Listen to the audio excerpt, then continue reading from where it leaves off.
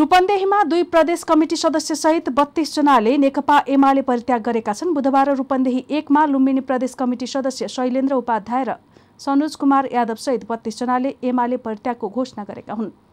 यादव रोहिणी गाउँपालिकाका निवर्तमान गाउँपालिका अध्यक्ष समेत हुन्। बुधबार पत्रकार सम्मेलन गर्दै केही समय अगाडि नेकपा एमाले पार्टी परित्याग गरेका घनश्याम भूषाललाई समर्थन गर्ने गरी पार्टी परित्याग गरेको उनीहरूले बताएका छन्।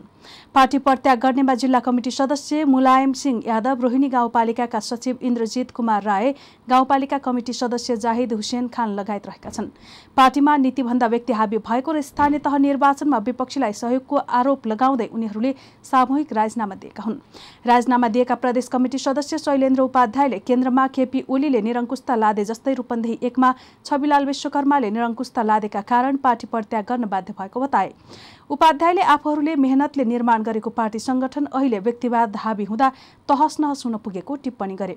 घनश्याम जस्तो इमान्दार नेतालाई पाखा लगाएर तानाशाह प्रवृत्ति लादिएको उनको भनाइ छ। यस्तै अर्का प्रदेश कमिटी सदस्य सनोज कुमार यादवले पार्टीले स्थानीय तह निर्वाचनमा सहयोग नगरेको आरोप लगाए। यादवले विपरीत ध्रुवका पार्टीहरूसँग गठबन्धन गरेर अहिले एमाले जनतालाई झुक्क्याउन खोजेको दावी गरे।